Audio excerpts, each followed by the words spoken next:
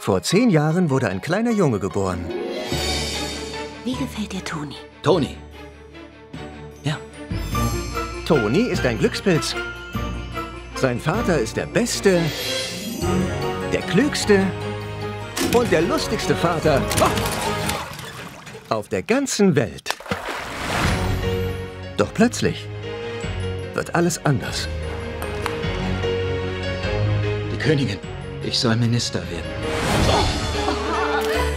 Die Königin und ihre Minister, das sind die wichtigsten Menschen des ganzen Landes.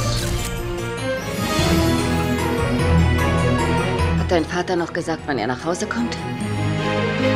So lange? Wir hatten eine Besprechung, sowas Erzähl dauert. doch nichts. Ich bin gleich wieder da, Toni. Der Ministerrat ist nur für Minister. Toni will ihn zurück. Ich vermisse Papa. Denn für was hat man einen Vater, der nie da ist? Könnten Sie wohl meinem Vater sagen, er soll wieder nach Hause kommen?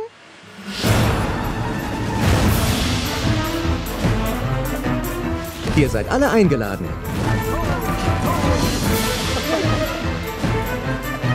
Zur tollsten Geburtstagsparty des Jahres.